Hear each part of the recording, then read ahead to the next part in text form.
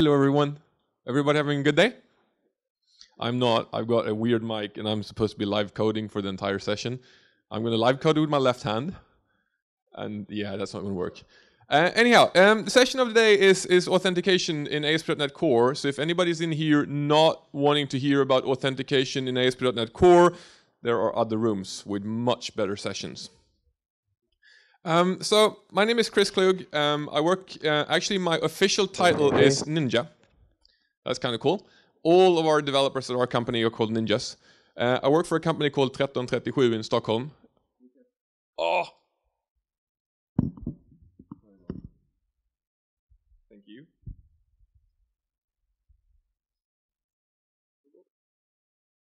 Like that. Do I get audio? Hello. Okay, that seems to work.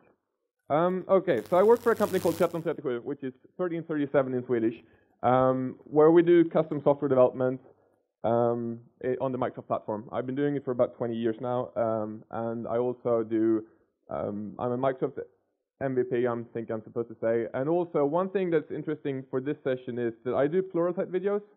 So all of the stuff that I'm showing today, damn microphone. Um, all the stuff that I'm showing today is actually from one of my courses. So if you want to have more information about what I'm showing you today, there is a course on Pluralsight that will walk you through what I'm showing today and a bunch more and over the time of like four hours. So I did a bit more than 50 minutes. Um, having that said, I have no more slides. And I have a ton, we're talking a crap ton of stuff to show you. So I'm hoping that I'll get through all of it. If not, tough. Um, you're more than welcome to stop me along the way and say, Chris, I have no idea what you're saying. I won't have time to explain what I'm saying, but you're more than welcome to stop me. Um, other than that, let's just let's just jump in, right? So in ASP.NET Core 2, they rewrote the entire authentication. Yes, you are going to get to see more. Um, you don't need to see that little thing over there. You need to see the code, so you'll see more. In ASP.NET Core, they rewrote the entire authentication stack. Actually, they rewrote it for ASP.NET Core, reusing a bunch of stuff that they had in, in uh, Project Katana and OWIN before, and then in ASP.NET Core 2, they actually rewrote the whole thing. So what I've done is I've built this little web application. You're going to see exactly what a fantastic web developer I am.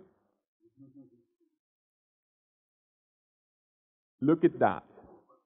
That, my friend, is ASP.NET Core 2 running on my laptop with a Bootstrap theme, and it looks like shit. I don't really care about what it looks like. It's all about the functionality. So it's, uh, it's, it's semi-readable. So it's a simple web application. It has a registration button, a login button. It has a, uh, a home button up here, a login button, and a register button. That's all I want to talk about today is authentication, registration, and login. So with this thing, I'm just going to jump back into my code. And this is the project up here, so I'm going to open up the startup file. Can everyone see that? Ish at least. I'm sorry about the people in the back. The screen is really, really low.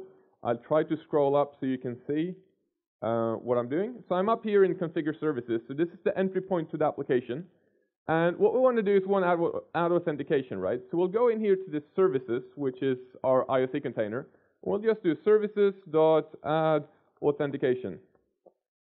Cool, we've got authentication. Authentication, however, is slightly more complicated than just doing that, because you actually have to tell it what kind of authentication we want to do. So I want to do local logins. So I want to do cookie-based authentication. So I'm just going to, after this, I'm just going to continue. So it's all fluent uh, syntax. So I'm just going to go ahead and add cookie. So I got cookie authentication in there. I'm just going to be okay with having cookie. That's all I need for now. And I'm going to say cookie config. I'm going to give it those two parameters. So what we get is we get a callback method that we can pass in to add cookie or add Facebook or whatever authentication mechanism we want. And we just tell it here is what I need to configure. So for cookies, I just want to tell it that the login path is slash auth slash login. So if anybody ever needs to log in, send him over in that direction. If you get access denied, this is nice. In previous versions, there was no difference between unauthenticated or unauthorized. So basically, whether or not you had been authorized was didn't matter. So if you came to a web page and you weren't allowed in there, you would be sent to the login page with no way of figuring out whether or not, well, actually there was a way, but very little way of notion of saying that you are logged in, but you're not allowed to access this page, versus you are not allowed to, you're not lo- logged in, so you're not allowed to access this page. Those are actually two kind of different things, right? One, I want to send you to go and log in, and the other one is I want to tell you to fuck off because you don't have access. Sorry, I'm not allowed to say that. I need to tell you to uh, not go to that page because you don't have access. I'm from Sweden. We swear a lot. Sorry about that. And it's recorded. so, I've got this thing in here, access denied, login path. That should be pretty good. Um, I do need to tell ASP.NET Core, however, what uh, authentication mechanism I want to use. So up here in Add Authentication, I'm going to say Cookie Authentication Defaults dot authentication scheme. That basically tells ASP.NET Core that in any situation when anybody needs to do anything with authentication, use cookie authentication. It's a string, so the method that the, the, the value I passed in is just a string that didn't help you very much. On my screen, it says that it's a string. And we can have as many, many different authentication mechanisms as we want, but I've only got a cookie authentication, so I'll default to that. Okay, um, that configures all of the services. So now I have authentication plugged into my application. I also need to plug it into the request pipeline so that when the user comes in, he's actually, he or she is actually authenticated. So down here in the configure method, I'm going to go ahead and say app.use authentication. That adds a middleware into the request pipeline that will make sure that the user gets authenticated on the way in. So in this request pipeline where the user comes in from the top and goes through this and then that and then that, after this thing here, the user will be authenticated. It will also make sure that if you send a, an unauthenticated or unauthorized um, status code back, it will automatically redirect the user to, um, to the login page. Okay, so I've got authentication plugged in. That's actually all we need to do. Next step, sign in or register users. So I'm going to go ahead and go over to controllers and auth controllers.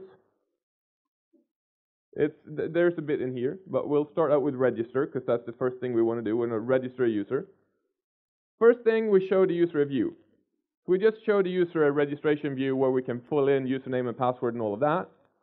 User posts that back to this endpoint here with a name and an email and a password, password, and then I register that in my database. It's not actually a database. Um, you'll get all this code, so you can, can download it. It's on GitHub. Uh, it's actually not persisted in any form of database. It's persisted in a JSON file on disk, which is really, really bad practice. It's a demo. Don't ever let me near your production code. That's recipe for disaster. So once I've got the user authenticated or registered in my system, I need to actually sign the user in in my web page. So this is where authentication comes into play. So I'm going to go and say sign in user 1. The first thing I want to do is I want to figure out what claims the user has. So in ASP.NET Core, um, actually even in ASP.NET MVC 4.5, um, everything is claims based. So we say I claim that this user is whatever. So I give the user a claim of name identifier that contains the user's email address. I save a, a claim called name with the username, an email with the user's email. So those are the claims that, that this user can claim to have. Once I got my claims list, I can then do sign in user 2. I can take my claims and create a claims identity. I created an identity and I passed in the claims that I want this user to have, basically all the properties of this user. Important thing, second parameter to claims identity is cookie authentication defaults.authentication scheme, basically telling it this is the, the thing that's signing him in in the end. If we set this up wrong, the user doesn't actually, the user gets kind of authenticated, but it kind of blows up and doesn't work. So you need to use the correct thing here, saying that I'm signing in the user with cookie authentication. Once I've got my identity, I can create a, create a principal. And finally, once I have my principal that is basically the entity that represents my user in the application, all I need to do is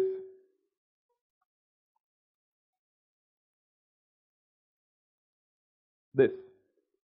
HTTP context dot sign in async, which is a um, an extension method, and I pass in my principal. This will set a variable um, on a specific object in the OWIN request pipeline, and then on the way out, when I send a response back to the user, the, the authentication middleware will pick up that and say, oh, you tried to sign this user in, I'm going to go ahead and sign him in using, you told me to use cookie authentication, so I'm going to go and tell this thing to whoever cares. Honestly, in the end, you get a cookie. That's all you need. So in the end, calling HTTP context to sign in async, passing in a principal, will cause the application to sign in the user with whatever authentication mechanism you either tell it to use or is the default one. And the default one in this case, as I set up before, is cookie authentication uh, that I've passed in here. So by default, it's going to sign in using cookie authentication. If I run this application, this actually, and then I redirect the user to the, to the user information page, showing the user the information about the user. If I run this,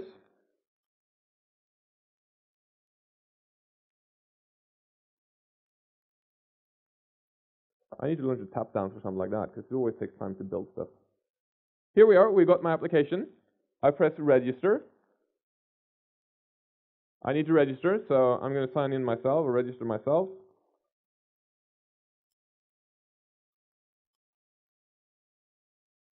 That posts the information back, principal is created, and cookie is being set up for me. And if uh, it's really hard for you to see in the back, I assume, but basically we get our claims here saying that I've got a claim called name identifier, which is Chris at 59 North. I've got a name, which is Chris, and I've got an email address, which is Chris at 59 North. And all of this is then stored by default in a cookie on the machine. Did that seem complicated? If we ignore the fact that there is a ton of stuff under the hood that sorts all of this out for you, all you need to do to get authentication is register authentication services in your services container, register the type of authentication you want to use, in this case cookie authentication, create a claims principal, sign in the claims principal, and the system takes care of the rest for you. Fairly simple. However, if I try to log out my user right now, that is not what we want to see, right? So what, how, how complicated is signing out? Well, it is less than complicated. All you do is sign out, you write this. That's not what you write. You write that. H, await is an async, async operation. All of these things are always asynchronous because you might need to do asynchronous work when signing somebody out. So we do HTTP context.sign out async. That will then take care of getting rid of the, the cookie and all that stuff. You don't have to care. The system sorts that. And then you go redirect to action index home, save this, press logout.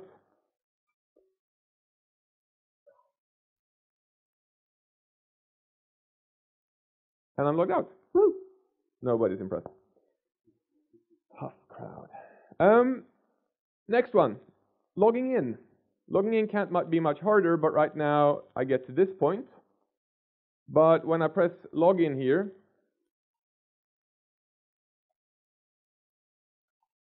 this thing goes not implemented. Okay, so we need to implement logout.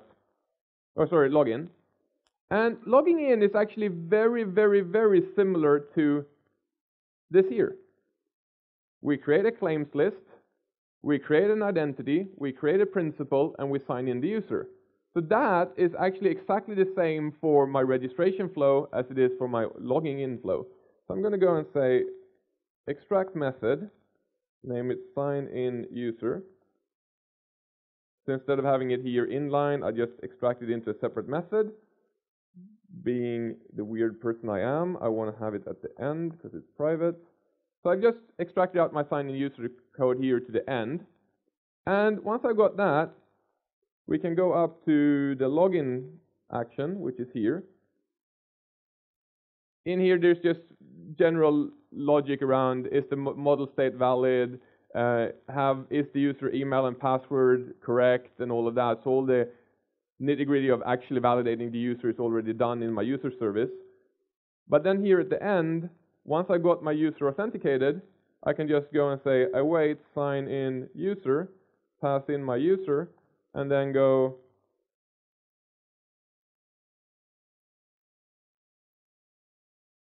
sorry, return awaits, because my sign-in user down here actually returns, nope, Chris, you should learn how to do this. Let's start over.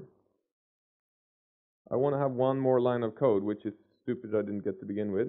I want to have all of that. So I want to have the redirect in there as well, because I want to do redirect, the same redirect all the time. So let's try that again. Extract method, sign in user. So once again, you take all of your code for signing in, you extract that out into a separate method at the end here. And then up here in the login, we just say return, await, sign in user, and as I said, it's exactly the same code as we did for registration. Create a claims identity, create a claims principal, sign in the user, redirect the user,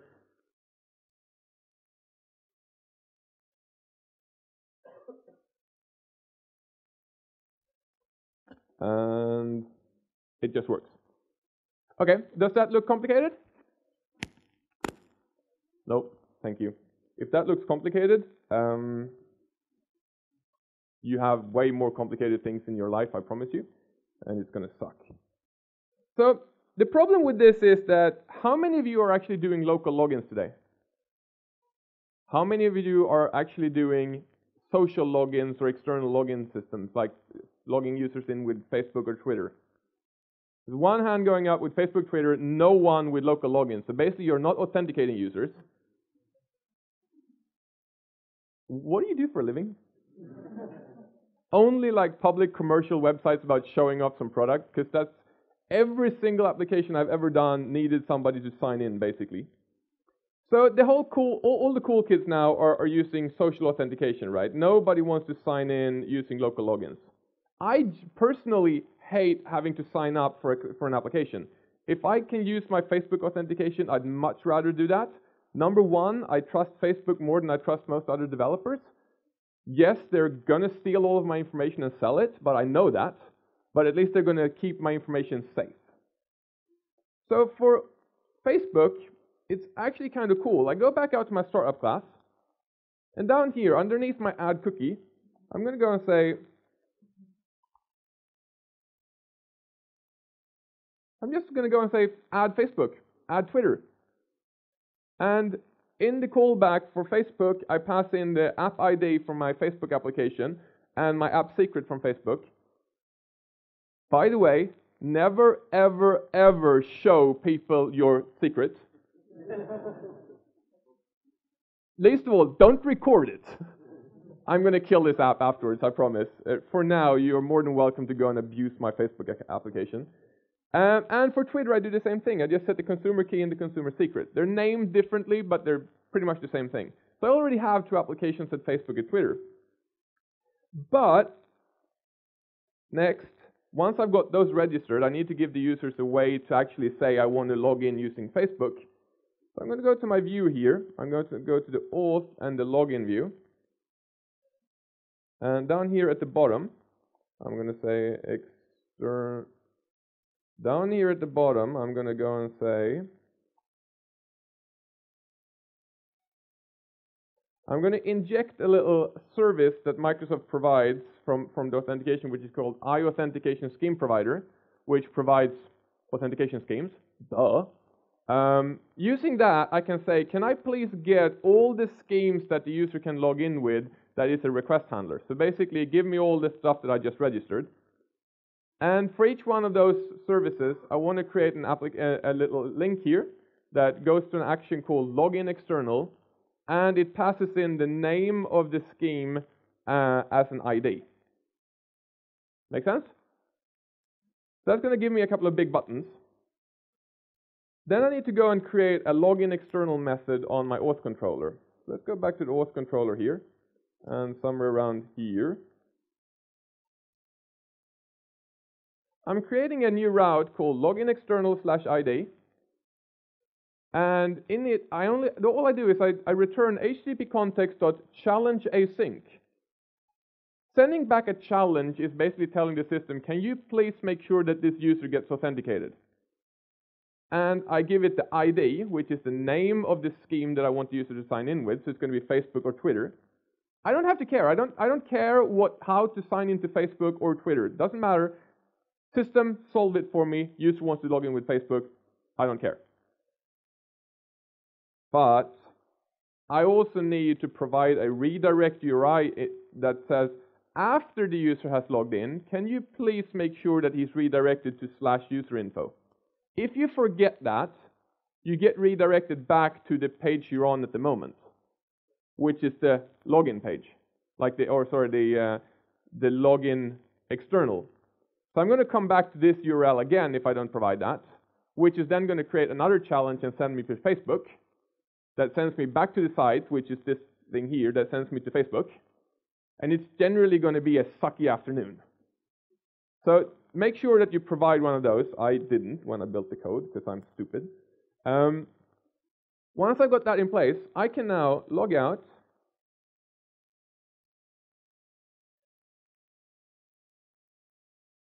Press login.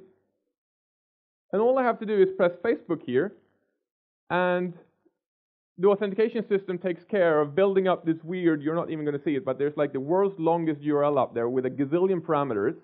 And all I get here is, not that you're seeing it, but it says auth demo, which is my application, will receive public profile and email address. Do I agree to that? Yes, auth demo is a fantastic application, and I know the builder guy who built it. And I come back here. I didn't have to take care of sending the user to Facebook or making sure that I had the callback path and handle everything that came back from Facebook or anything like that. Facebook just, or the authentication system solved it for me, and I got a name identifier, an email address, a name, a given name, and a surname from Facebook. But authentication is the only part that um, Facebook organizes. So once the user comes back to my application, the user is actually signed in using cookies. So without me touching anything, with me just saying add cookie, add Facebook, the system figures out that once the user has been to Facebook and got authenticated and I know who the user is, I'm going to take that JSON token and I'm going to send that over to the cookie authentication middleware that signs in the user with a cookie and gives me a cookie so I'm signed into the application. Really cool stuff.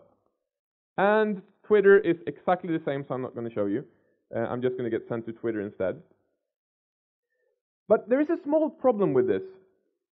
When I sign in with a local account now using cookie authentication, I get a name identifier, a name, and an email. If I sign in with Facebook, I get a name identifier, a name, an email, a given name, and a surname. And if I sign in with Twitter, I get a name identifier and a name. I don't get an email address. So very often we want to go ahead when somebody signs up using an external provider, we want to make sure that we take that external provider's identifier, but then are able to add profile information for the user, right? And the way that we do that in ASP.NET Core is actually quite simple and quite smart. I can add as many authentication options as I want here. So I can go in here at the end and say, I want to have another cookie provider. But this cookie authentication middleware is going to be called temp cookie.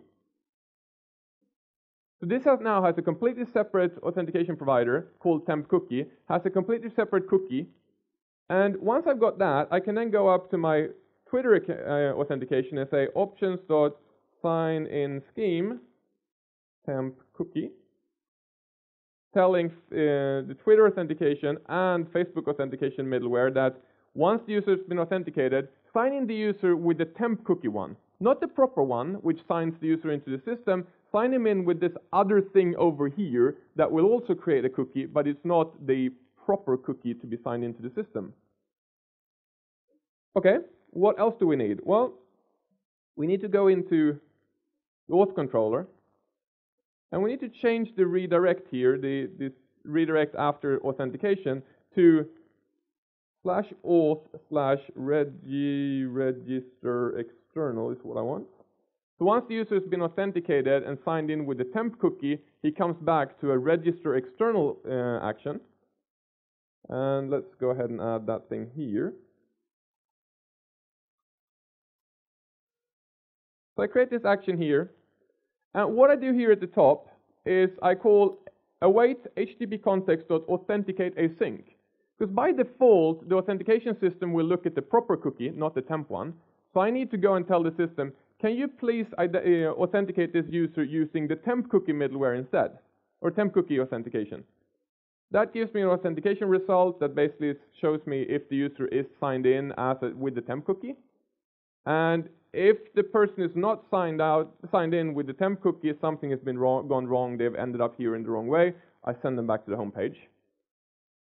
If the user is signed in with a temp cookie, I go and add them to my database, or rather, sorry, I go and authenticate them in my database and say, is there somebody in this database with this name identifier, basically this Facebook ID or this Twitter ID? If there is a user in the system with that ID already, I go ahead and call sign in external, method I will create in a minute. If not, it's a new user. So I need them, the user to provide the profile information for the application. So I show them a view where they can provide their name and their email, and I pre-populate the name and the email with the claim values that I got from the endpoint. So if Facebook, for example, this will be pre-populated with name and email, but for Twitter, there will only be a name, there won't be an email, for example. And then I show that, that view to the user. The sign-in external method, very simple thing. It's actually, all it does is it signs out the user with it from the temp cookie, basically saying, can you please sign out this user from the temp cookie authentication middleware? So this will remove the temporary cookie, and then afterwards it signs in the user with the proper cookie again, and basically goes, I, the user is now properly signed in, everything is fine. And finally, once the user has actually provided the information that we want, we'll do sign in, ex uh, no, register external post. I have another method here. This is where we post the information, basically when we post back the, the name and the email. Once again, I make sure that the user is actually signed in with the temporary um, authentication system, so that the user is temporarily signed in. Then I check my model state to see if the user has provided all the information that's needed. Then I add it to my database. And what I add here is I add the user or the, the profile information using the name identifier, because every single authentication provider will give us a name identifier, some form of unique key. Remember though that that name identifier is unique for that provider, so you can't just assume that a Facebook name identifier is going to be unique from a Twitter identifier. They are, but you can't assume it for most of the things. So you want to prefix it or something like that. And then I store the name and the email uh, with that name identifier. And then I sign in the user again. So with that flow, oh, we want to have one more thing. In the register part here in my view, I obviously want to have the um,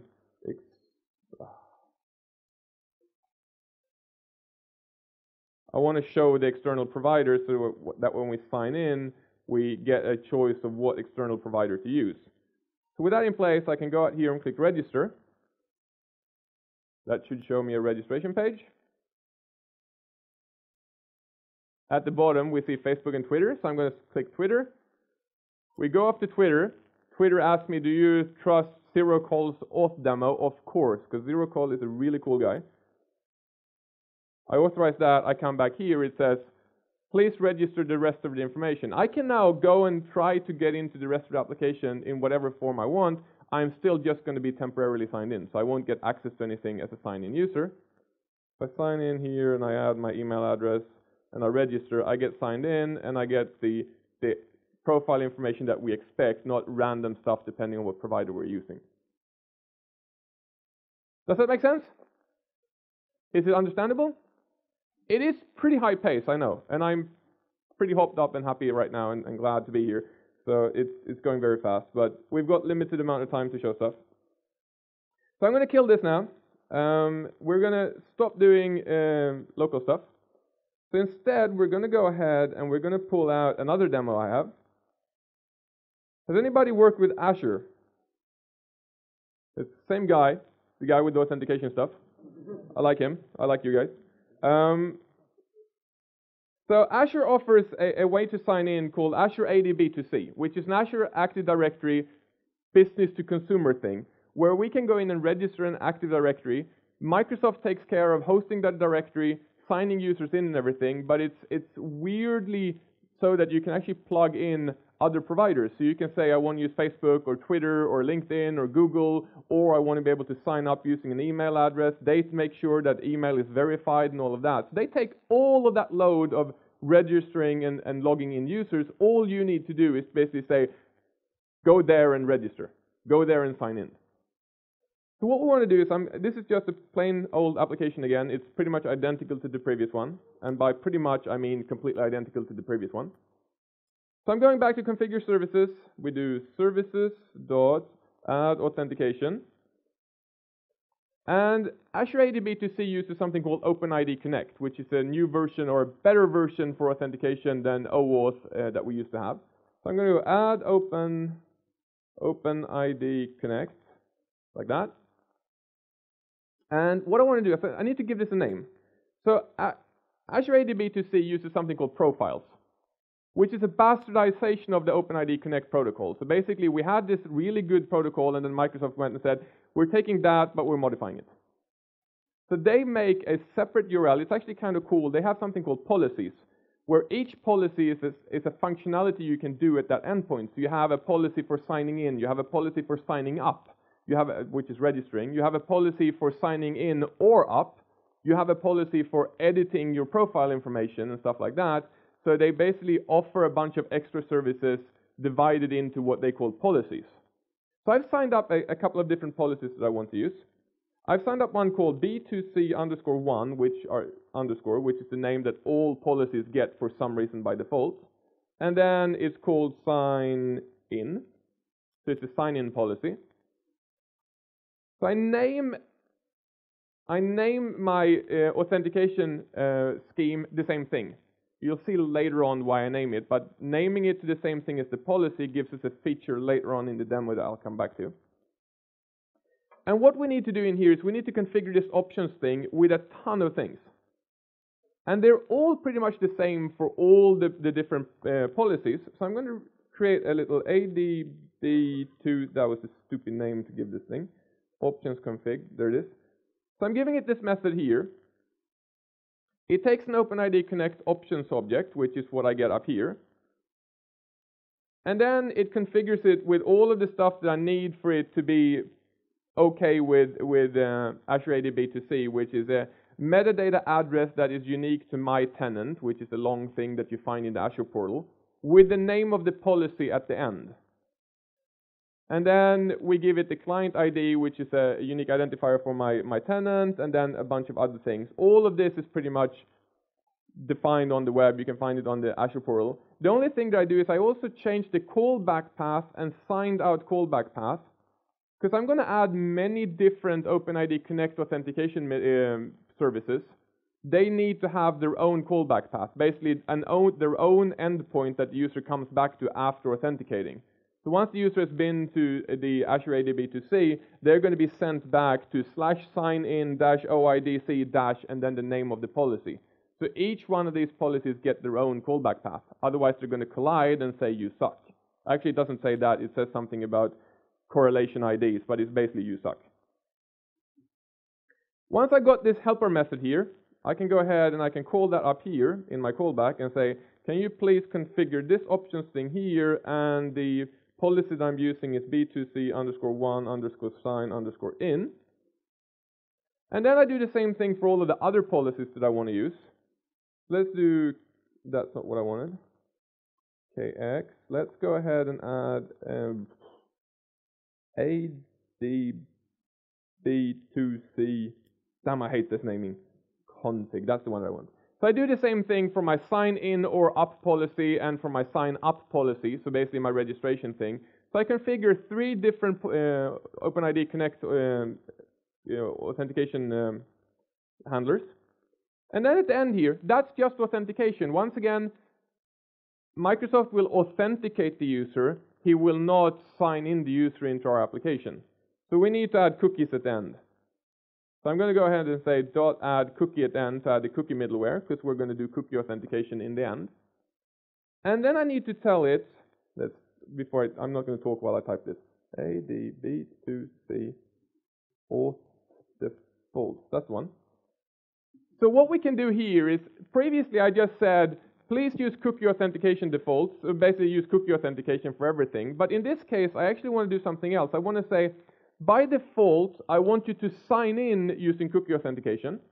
I want you to sign out using cookie authentication. But when somebody challenges the user and says you have to log in, can you please use the B2C1 under, underscore 1 underscore sign underscore in underscore or underscore up thing? And if you want to do, once you authenticate, when the user comes in on every request, can you please use the cookie authentication to authenticate the user? So we can say different things, like if the user is, needs to be authenticated, use this thing. If you need to sign in, use this thing. So we can use all these different things. And what I need to do is use cookie authentication for everything but the default challenge. Okay, so I've got my OpenID Connect stuff configured. Next step is the one that I always forget, and it takes me 10 minutes to figure out why it doesn't work every time. You need to add this. If you don't add authentication middleware, it kind of works halfway. You can, you can challenge the user, and the user gets sent off to ADB2C, and then when it comes back, it goes, poof, you suck. Don't forget that. It needs to be there. What else do we need to do? We need to log in the user and register the user. So I'm going to the auth controller. And this is kind of cool because I, I don't care. I don't have to show any UI or anything. That's all handled by Microsoft. So for logging in, I'm going to go ahead and say ADB2C challenge. ADB2C. What happened to ADB2C challenge? Oh, this is going to suck. This is going to suck bad. I had a snippet for that. Ah, there it is. It's called login challenge, not challenge. There it is. So what I want to do here is I, I call out a challenge, basically say, can you please sign in this user? I don't tell it, well, I, I tell it what, where to sign, go after signing in. And then I need to tell it what policy to use. So I want to use B2C underscore one underscore sign underscore in. And then we'll do, for registration, we'll just do same thing, but can you please go to the sign up? And for signing out, we'll just do um, await HTTP context dot sign out async, and then we'll do AD sign, there it is. And then I'm actually going to call sign out twice. So the first one is going to sign out the user from the local cookie. But then I'm going to go out and I'm going to pull out the authentication scheme use. So basically, the name of the policy that I'm going to use for the sign-in is actually stored in a claim that I get back from the authentication provider. So by using that policy as the same name as my authentication uh, handler, I can go and pull out that claim, which is then going to say in this case maybe B2C sign up, because I've just signed up. And then I'm going to call HTTP with that name of that scheme, and then it's going to find out that I need to sign out from Azure AD because I have a, a, handler for that, and then that handler is going to send me off to Azure AD to sign me out, and then I'm going to come back to the home page. So if I demo this, let's see if this works.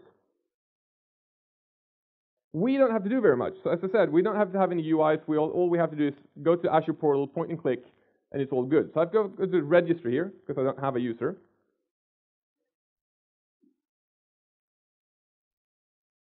Oh, that is kind of cool. I've also signed up. So not only can I sign up using email, I can also sign up using Facebook and Twitter. And if I sign up using Facebook and Twitter, I can also define what properties do I need. Do I need a name, a given name, a surname, and all of that? And Microsoft will make sure to do all of that stuff that I just did, which is authenticate the user, and then collect all that user information for me. So let's go with Facebook. I get, go off to Facebook. I've already authenticated my application because I did that in the previous demo. It asks me for an email address and the display name, and I go continue. And if you register using an email address, it actually sends you an email with a verification code to verify your email and all of that. So it does verify the email, and you can do that with Facebook as well. But we come in here and we get a ton of claims. We get a uh, name identifier, a name, an identity provider. Um, we get a unique ID, an object identifier for the object in the Azure AD. Uh, we get a claim saying that it's a new user. So new user equals true, so we can give the user a specific greeting if they're a new user. We get the email and we get the TFP here, which is the name of the um, this policy that was used when this user was signed in. And if I press log out now, it's going to look up the TFP one and sign out the user. And if I go to log in now, I should be okay logging into Azure, uh, Azure AD using Facebook by just clicking there. What you didn't see in the logout phase is that it actually goes to Azure AD and signs out the user from that instance as well. So I get redirected and come back. It's just very, very fast. Let's see if you can actually see it. Nope, but it's there. Trust me. Always trust the guy that says, trust me. Okay, is everybody with me so far? Ish. As I said, there's a whole course on this, and it's going to be high pace when we only got 50 minutes. Uh, sorry, I've only got 8 minutes to demo the last stuff. So the last thing is, what if we don't want to use an external provider that we don't own? What if we want to have an identity provider that we own but external to our application so we can use it from several different applications? There's a cool project called Identity Server, uh, which does that. It's just an identity server. It identity or authenticates users, and it's open source. It's built by a couple of guys from the community. It supports OpenID Connect. Uh, it comes with a UI if you want to, and if you start it up, you get this thing here. It's completely uh, skinnable, so you can change all of the UI for it. But it's basically just built to authenticate users. So in this thing, I have registered an application and I've registered a user that can sign in and all of that. That's kind of not part of the demo. All I want to show you is that once you've got an identity server, the web end of it is actually ridiculously close to what I just showed you. So if we go in here, go to the startup file, once again, we do services dot add authentication to add authentication, right? Dot add OpenID Connect because we want to do OpenID Connect. Um, and in here we do IDS config. And we need to give it a bunch of things, right? We need to give it, where is my identity server? Well, it's at localhost port 5000. Whoop-de-doo, it's local. Uh, I'm cheating, I'm using HTTP, I'm not HTTPS. I didn't feel like installing a client certificate that doesn't work in Chrome very well. So I just say require HTTPS metadata equals false. Don't freaking do that in production ever, or I will come back and molest you and kill you, okay? I add whatever naughty stuff I can, just get people to understand that you don't want to do that. It's, it's crap, right? Always HTTPS.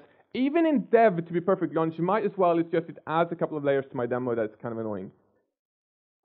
Client ID, configured in identity server, uh, redirect after signing, go to slash. Save tokens, very important. That saves the original token in my cookie so that when I sign out, I pass that token uh, to the identity server so that identity can figure out to automatically redirect me after signing out. Kind of annoying thing to have to do, but I've talked to the guys and apparently part of the spec. And then at the end here, I just have this little thing that listens to events and says, if something goes wrong during authentication, redirect the user to slash. Probably you want to do something else, but in this case, if you press cancel during the authentication phase, it actually is considered a fault. So you come back here and this thing explodes unless you listen to it. Once I got that, once again, OpenID is just authentication, so we'll do add cookie at the end because we do want to do cookie authentication for everything. And add uh, app use authentication to add authentication to my request pipeline. And to sign in the user, we'll just go to controllers, auth controller, signing in a user, piece of cake. IDS challenge. Please sign in this user, you rock. Actually, I missed one thing here.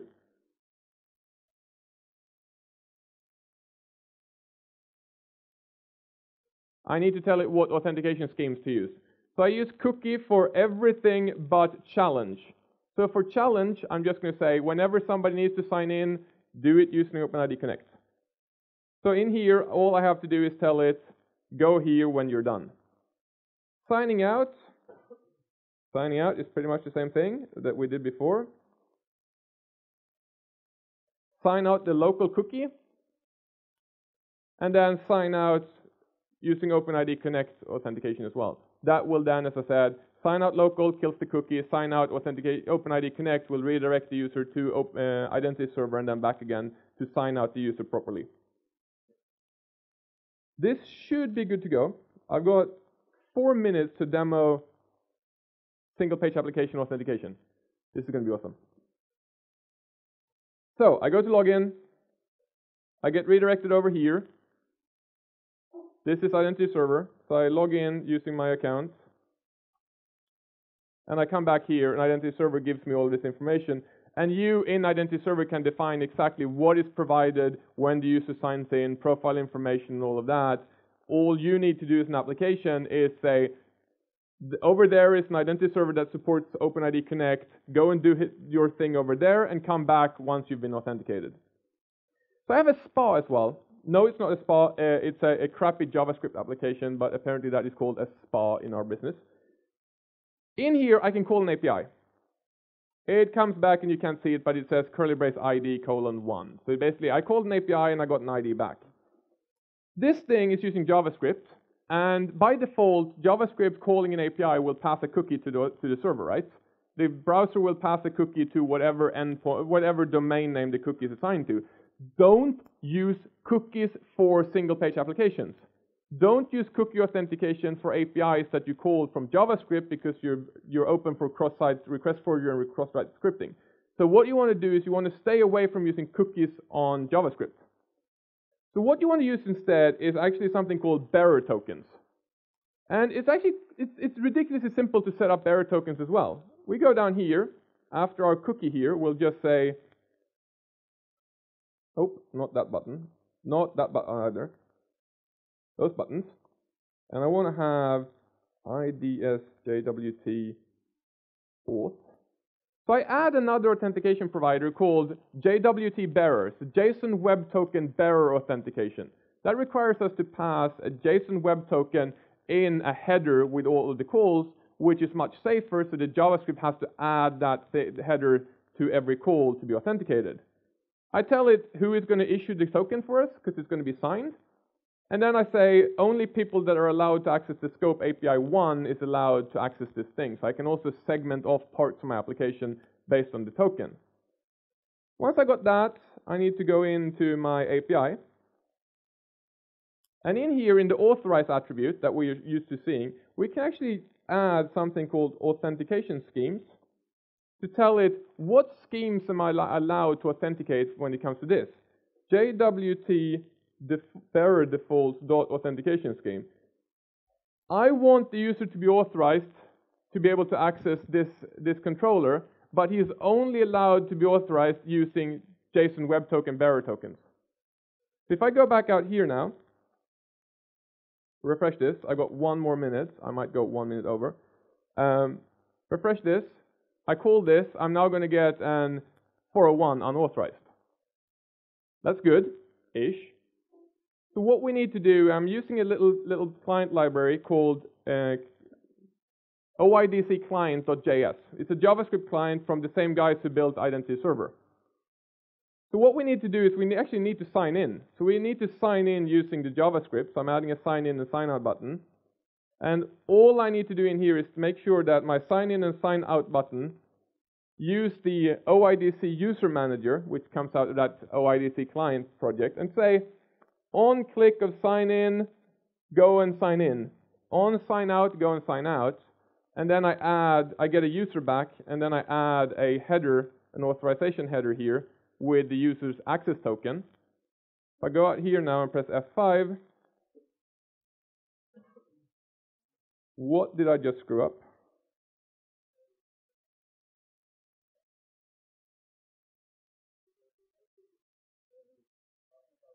They're all dis disabled, but they're kind of supposed to be disabled.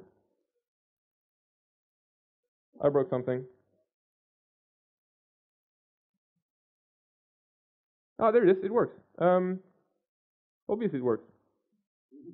Call API, you suck, 401, unauthorized. Sign in.